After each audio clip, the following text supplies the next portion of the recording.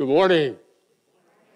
Welcome to the Presbyterian Church of Bella Vista. Those of you who are here, those of you who are following us on live stream today.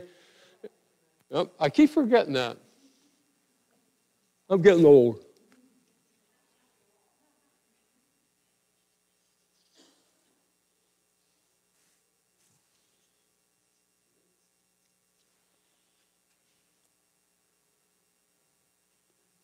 As I said, welcome to those of you who are here, to those who are watching us live stream this morning, and to those of you who will be watching us later sometime over a recorder session off the church site.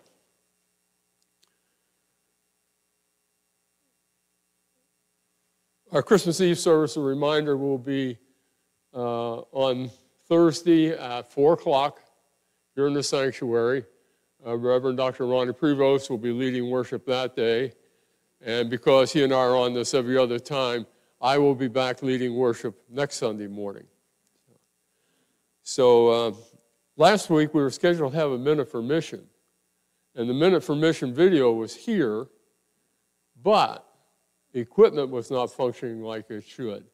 And there's been some upgrading in equipment going on, so we should have a Minute for Mission video today. So I will now turn it over to our technicians back there.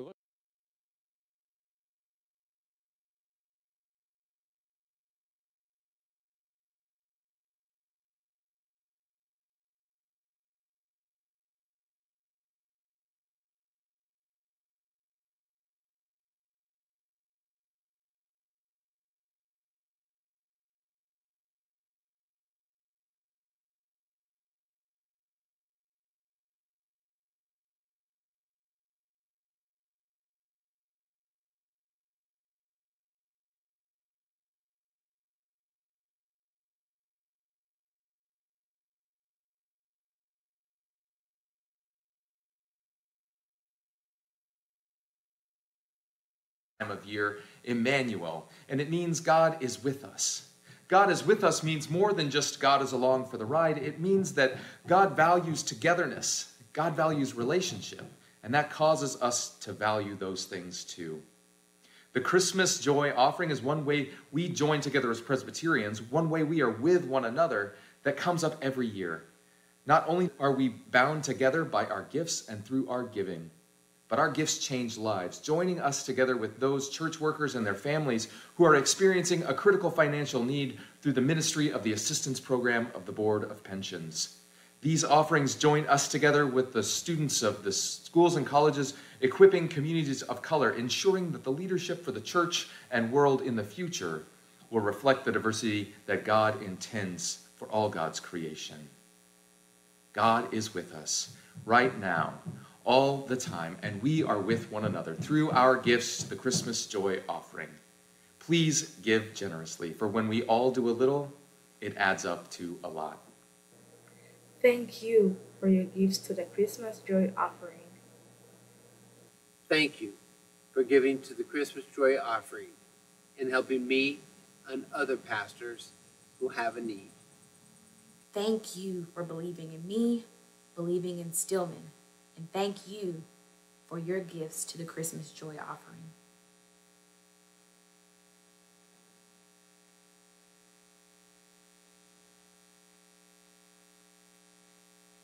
Envelopes are with the bulletins.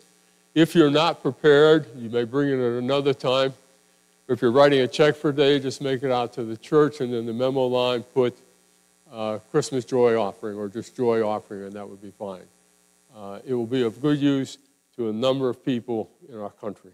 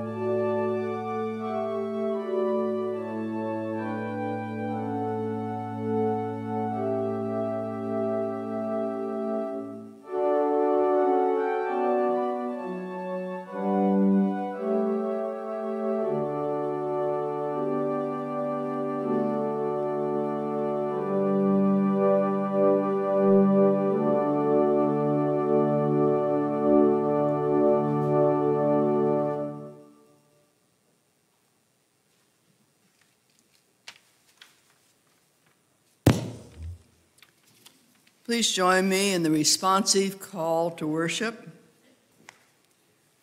My soul magnifies the Lord. My spirit rejoices in God my Savior. For the mighty one has done great things. And holy is God's name. Let us worship God.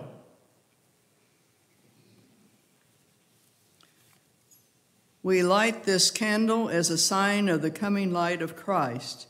As the Lord has promised, in days to come the nations shall beat their swords into plowshares and their spears into pruning hooks.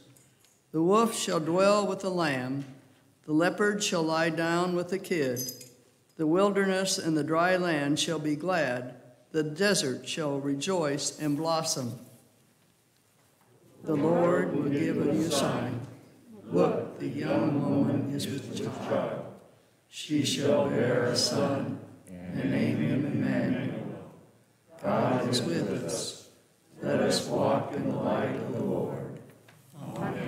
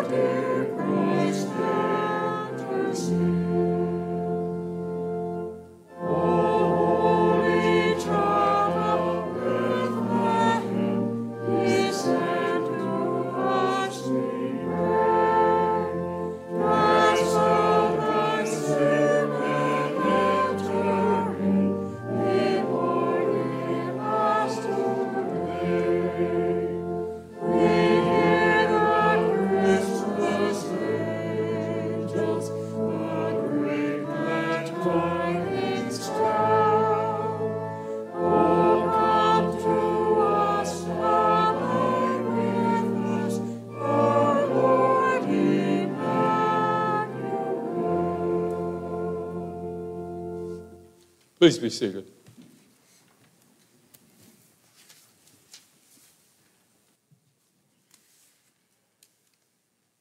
Let us confess our sins to the one whose mercy endures from generation to generation. Let us pray. Faithful God, we know that you're always there to guide us. Yet we often make plans without listening to you. and discover that our human agenda can drown out our ability to hear your will for us. We repent of these faults and turn to you in love. Forgive our offenses and pardon our sins, that our lives may magnify your holy name forever.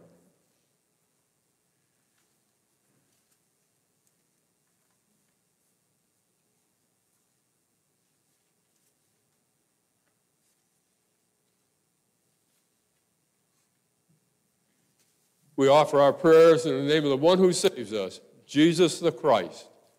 Amen. Sisters and brothers, by the faith of Christ, your sins are forgiven. Blessed be the God of our salvation, whose mercy is everlasting. Amen. Since God has forgiven us in Christ, let us forgive one another. The peace of our Lord Jesus Christ be with you all. And also with you. And now to share the peace with one another.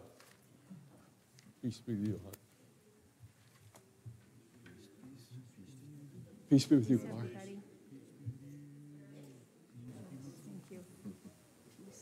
Peace be with you.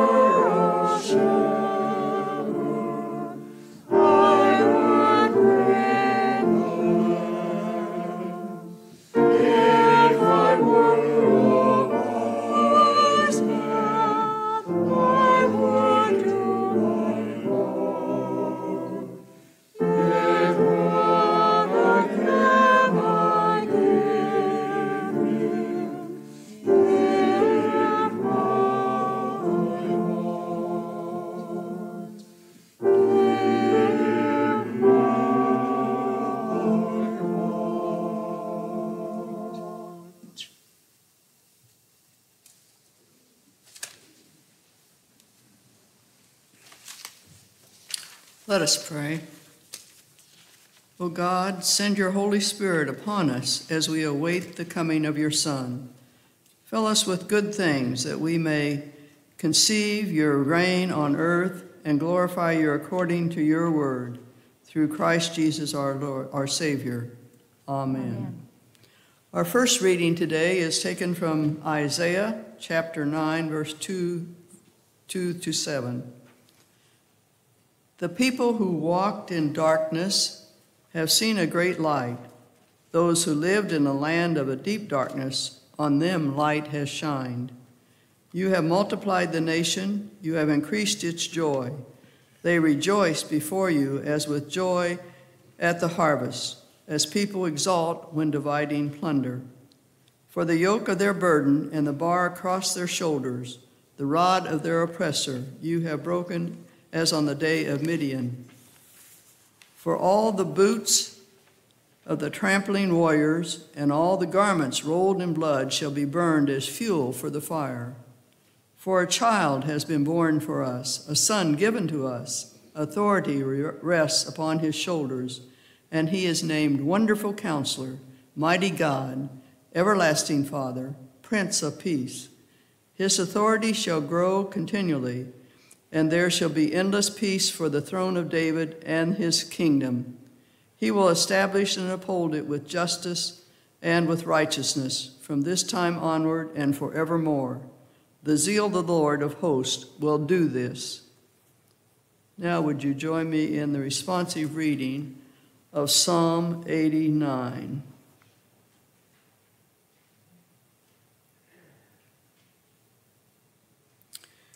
Your love, O Lord, forever will I sing. Your age to age, my mouth will proclaim your faithfulness. For I am persuaded that your steadfast love is established forever. You have set your faithfulness firmly in the heavens. I have made a covenant with my chosen one. I have sworn an oath to David, my servant. I will establish your line forever and preserve your throne for all generations. You spoke once in a vision and said to your faithful people, I have set the crown upon a warrior and have exalted one chosen out of the people.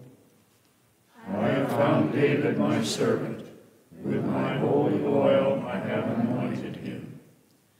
My hand will hold him fast, and my arm will make him strong. No enemy shall deceive him, nor shall the wicked bring him down. I will crush his foes before him and strike down those who hate him. My faithfulness and steadfast love are with him and he shall be victorious through my name. I will set his hand on the sea and his right hand on the rivers. He will say to me, You are my Father, my God, and the rock of my salvation.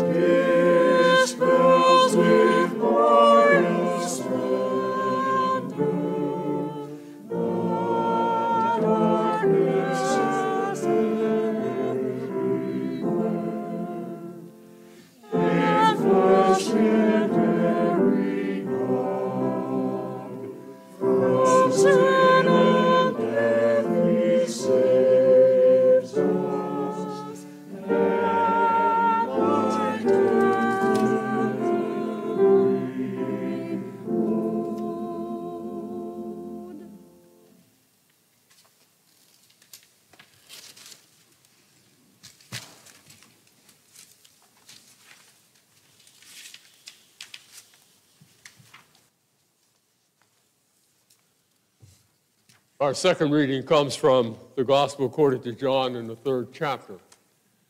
Now, this passage of Scripture is not necessarily connected to Christmas at all. But if you look at the overall meaning of Christmas and the birth of the Christ child, it has some real meaning.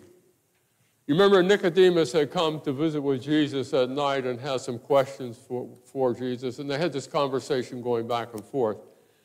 And this is a portion that John recorded of Jesus speaking to Nicodemus. For God so loved the world that he gave his only Son, so that everyone who believes in him may not perish, but may have eternal life. Indeed, God did not send the Son into the world to condemn the world, but in order that the world might be saved through him. Those who believe in him are not condemned, but those who do not believe are condemned already because they have not believed in the name of the only Son of God. And this is the judgment that the light has come into the world, and people love darkness rather than light because their deeds were evil. For all who do evil hate the light and do not come to the light, so that their deeds may not be exposed. But those who do what is true come to the light, so that it may be clearly seen that their deeds have been done in God. This is the word of the Lord.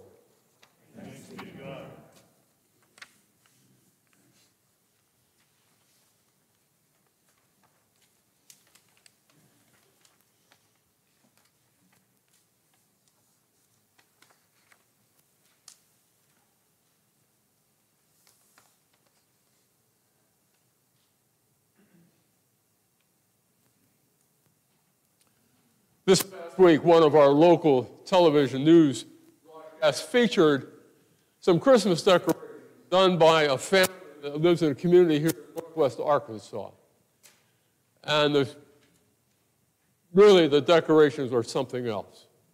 As he talked with the family, they had something over 70,000 lights, had a variety of things in their yard, and each night you come by, it was connected with music. Uh, coordinated with music, and each night there'd be a different menu of songs.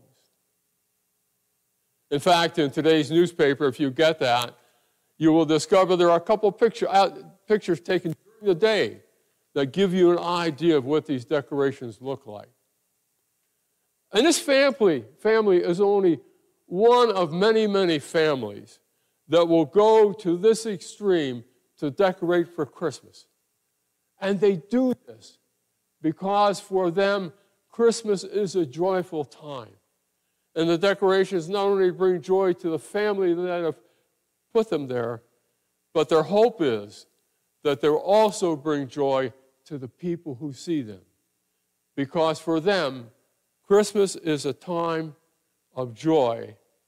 Christmas is a time to decorate. And when we think about it, we do see decorations at Christmas because they help us direct the attention of people to the meaning of this time of the year. Now, to help us understand this, think about the retail business world. For many retailers, this time is the year when they make most of the money that they make during the year. So for them, it's an important time. And you will find them decorating their stores for a couple of reasons. One, to create that feeling of joy in people, one, to invite them in to the store, all done with the hope that these people will buy Christmas gifts there. Well, if you go back many, many years ago, God decorated the sky with stars and angels to draw, direct the attention of people to something important that was going to happen. A child was to be born, and not just any child. This child would be a special child, the Messiah, the one whom the people of Israel had waited for a long, long, long time. And so when we think about this, decorations become extremely important at this time of the year because it's a way to remind people that this time of the year is a special time. And particularly for Christians, it's a time to celebrate the birth of the Christ child, Jesus Christ our Lord. But this is the only reason these decorations are important because they, they're also important because they're a way we can express our joy. Now, again, if we look back through the year, Christmas really isn't the only time we decorate. You walk in the store soon, it'll be Valentine's Day and so on and so on. But families really get involved sometimes in decorating for Thanksgiving and for Easter.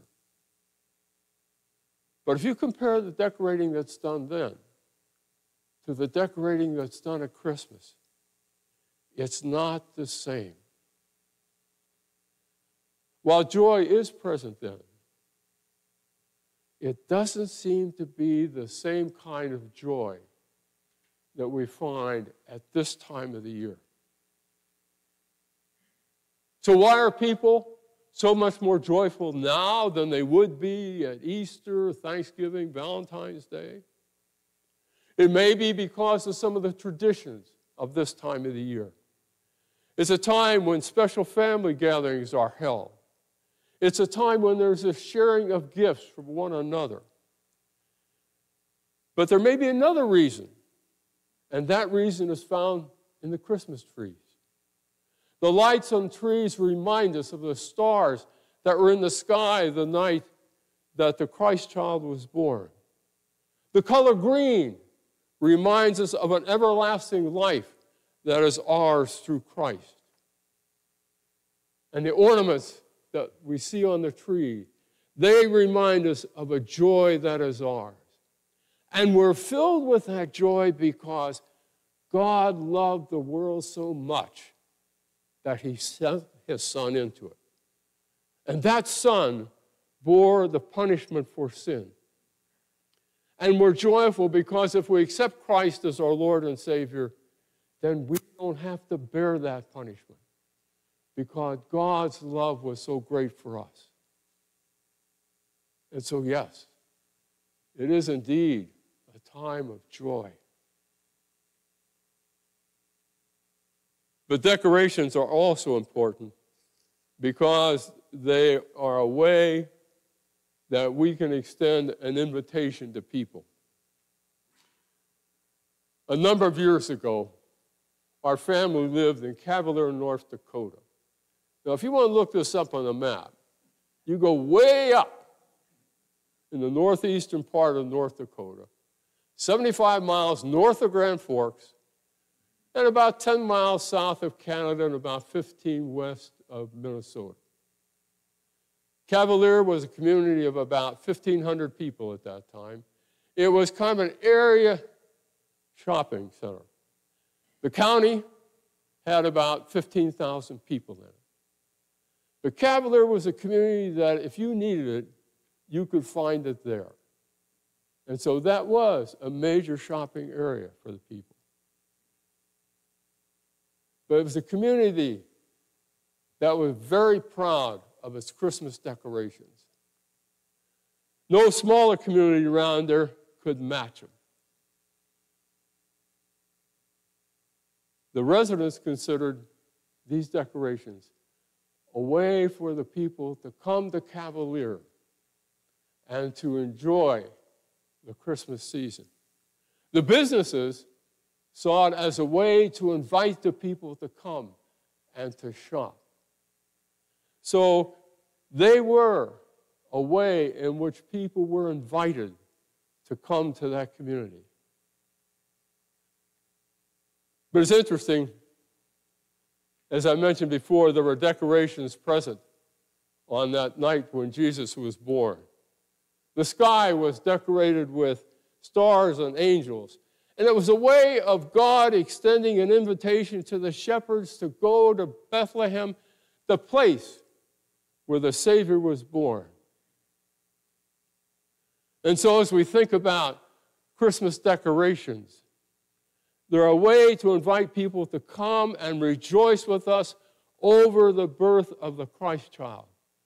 We invite them to come and to accept the gift of God's love as it comes to us through Jesus.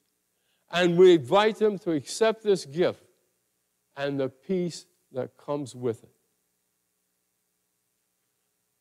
So when we look at Christmas, we can say it's a number of different things. Among those that we could say is that it can be a time to decorate. Now, everyone who decorates is not a Christian. Decorations don't mean the same to them as it means to us. But for those who are followers of Jesus Christ, the decorations provide us with a way that we can call attention to the meaning of this season. They're a way that we can express our joy that is ours and can be a part of the lives of others. It's a way that we can invite people to accept God's gift of love. Now, not everybody is able to decorate now. For some, it may be because of finances. For others, it may be because of age. And so Christmas decorations become important to them as it invites them to joy. And even though decorating can involve some hard work, when, it, when it's done, we can sit back and enjoy. And as we do, we can say, it is worth it. Or as one person said, when the work of salvation was completed through the birth of the Savior, his work, his rejection, his suffering, his death and resurrection. When all of us redeemed to shine like or, ornaments of God's love, do you suppose God sat back, smiled, and said, It is worth it? Amen.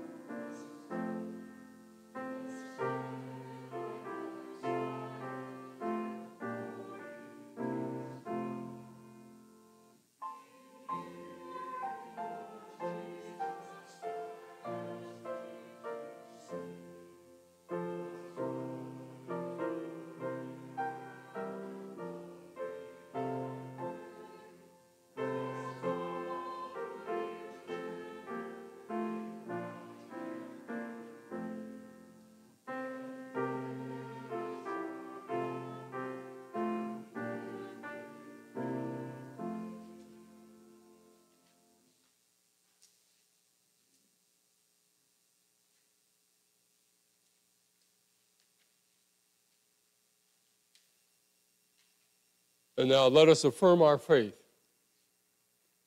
This is the good news which we have received, in which we stand, and by which we are saved, if we hold the fact that Christ died for us, according to the Scriptures, that he was buried, that he was raised on the third day, and that he appeared first to the women, then to Peter and to the twelve, and then to many faithful witnesses. We believe that Jesus is the Christ, the Son of the living God, Jesus Christ is the first and the last, the beginning of the end, and he is our Lord and our God. Amen. Seated, please.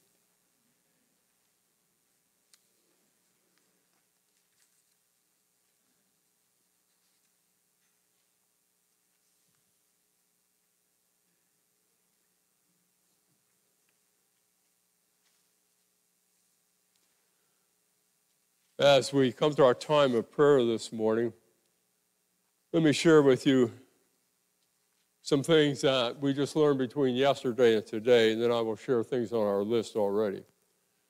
I received word this morning that Ernie Marlowe is in the Mercy Hospital with pneumonia and dehydration. And then yesterday, we had a call from Elaine Jones. She's scheduled for surgery tomorrow. And of course, she wanted to talk to Barb because Barb just came out of shoulder surgery. And Elaine will have so shoulder surgery tomorrow to repair a torn rotator cuff. It will be at 11:30, and it's going to be at Precision Surgery Center of Northwest Arkansas, which is located up in the Pinnacle Hills area. And if I remember correctly, her surgery is scheduled for 11:30, and it's an outpatient. She should be home later that afternoon. Then I also received word yesterday, uh, Paul and Joanne Chitty. Uh, remember them, older couple of our membership here who are living out on Apple Blossom and Rogers. They are both dealing with uh, some health issues now, and we should remember them in our prayers also. So let me share what we have on the list at this point.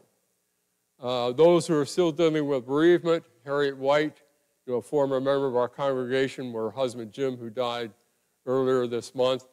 Family of, the Royce, of Royce Neal, who died on the 2nd. And then uh, remember our prayers also those in hospice. Uh, Barbara Sterup, who's in hospice here at Magnolia and Rogers.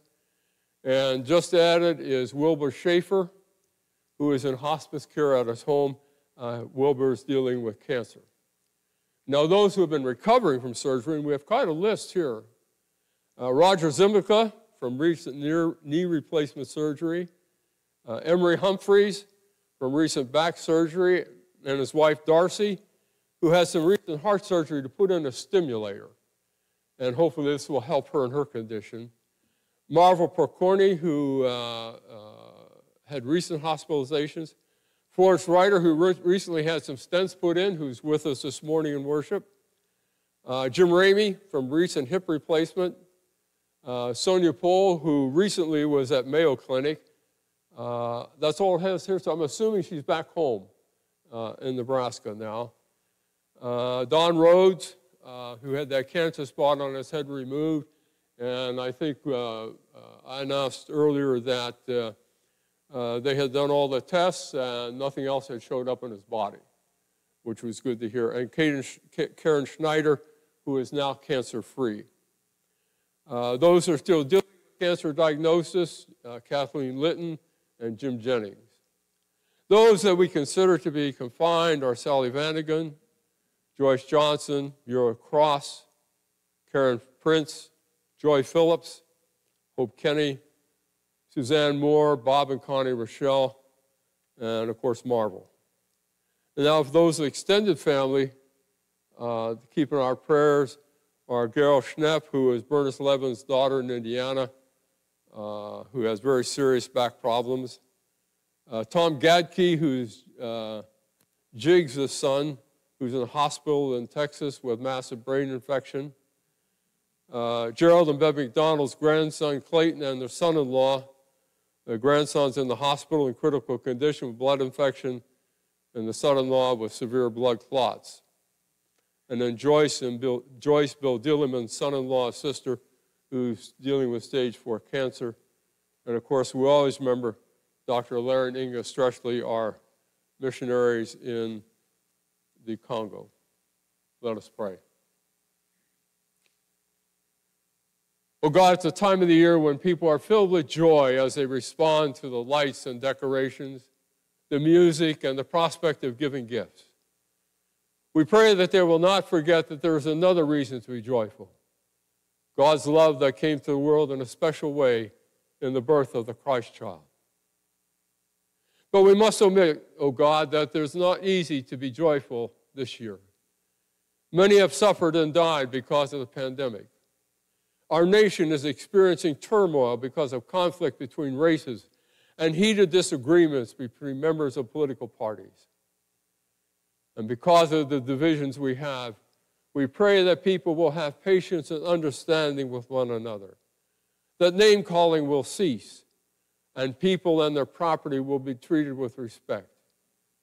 We pray that the peace that came into the world on the night our Lord was born will enter into the lives of all, and that the divisions we have will begin to heal. Well, God, each day is a difficult one for those in our armed forces, especially for those who are separated from their families and loved ones. And during the holidays, especially Christmas, it can become more difficult for some. we pray for all in the armed forces that you will keep them safe. We pray for their families and loved ones that you will comfort them. And we pray that they all will feel your presence and love with them. We offer prayers today for all who are on our prayer concerns list, for the session as it leads us during this time without a pastor, for the deacons as they carry out their pastoral ministry, for the pastor nominating committee as it does its work in seeking a new pastor, for our liaisons from presbytery. Who will guide our pastor nominating committee as it works. God, we pray that the joy we feel at this time of the year will remain not just with us, but as something that will move from whom we come in contact. And we offer these prayers this morning in the name of your Son, who taught his disciples and us to pray, saying, Our Father, who art in heaven, hallowed be thy name. Thy kingdom come, thy will be done on earth as it is in heaven.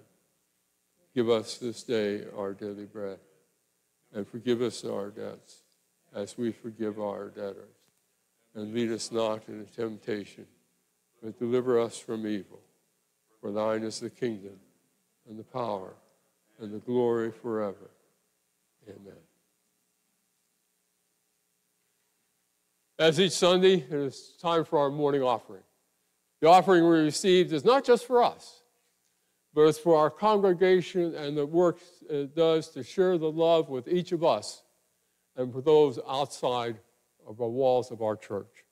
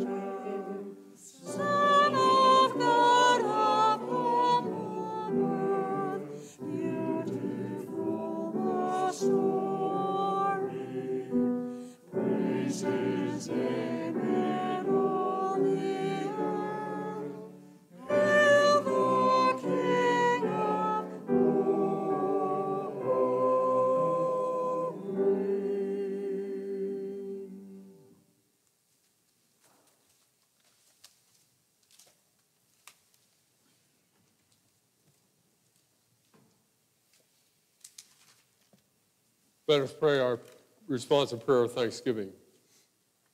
Holy God, your love is magnified in the gift of your Son, whom you so freely share with us. Bless these gifts that we offer to lift up the lowly and fill the hungry in your coming reign of justice and peace. In Christ's name, amen. Several announcements this year. First, I have a couple of extend this morning. One to our musicians for the work that they've done in preparation, preparation for today, and also for their commitment and dedication through the entire time that we've been dealing with the pandemic, whether it's when we were recording and you were not able to be present, and even now. I, I personally am very grateful for that. The other thing I'm very grateful for, if you haven't noticed, we have a monitor in the back of the church now. We can see when things come up on the screen. Now, it doesn't necessarily mean I can read them all, but we know that, that there, other than that, had to depend on Ronnie down here and Peggy, who were watching the screen, and then they would let me know that something was there. So I'm grateful for the worship committee and the session for uh, spending the money to do that. One suggestion that I made a long time ago, and nobody's really bought onto this thing yet, is you need a clock back there. And the reason I say that is several of the parishes I served had more than one congregation in it. And so I was very conscious of time uh, in order to get from one place to the other. And for example, in Cavalier, I had three I had to deal with. And, and I guess that makes me more conscious than other pastors have been here. Maybe someday there'll be something up there. I may not be preaching, but it might be there. Uh, I've always already mentioned that uh, the Christmas Eve service, the time for that. We've already dealt with joy offering.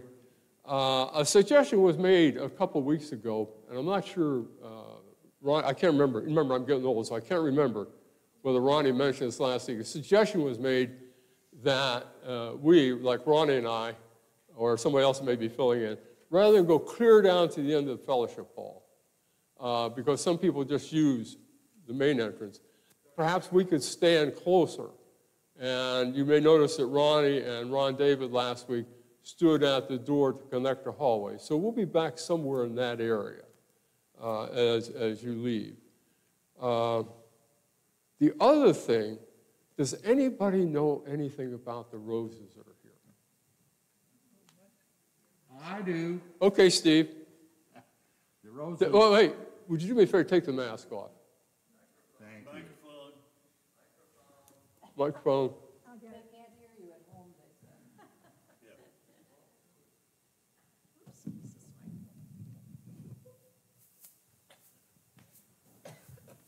And now, as you Thank- were Thank saying, you, Mary. As I was saying, uh, one of our anthems today was Lo, How a Rose E'er Bloometh. And I thought it'd be appropriate to purchase some roses and give to my group here as kind of a token of my appreciation for their hard work for the last hmm, nine months now or whatever. It's been a while. So these are going to go to us, okay? Sorry about that. I would like to give one to everybody. Some of you also, while while I have the mic, some of you might be wondering where Christy Clark has been. Mhm. A couple of weeks ago, I get a f- uh, phone message from Christy saying, Steve, I'm sorry I can't sing. I think I have laryngitis. As you know, Christy teaches elementary music, as I did for 35 years uh, in Goodman, I believe, right? Good, in Goodman, Missouri. And so she's been battling with voice problems for the last couple of weeks. And she's not quite ready. She can speak now, but she can't sing a soprano voice. So we're hoping, in fact, next week you'll see Christy, but she'll be on the piano, okay? So that'll be a special, special thing. Okay? That's it. All right, thanks, Steve. Are there any other announcements that need to be made? If not, our final hymn is Go Tell It on the Mountain.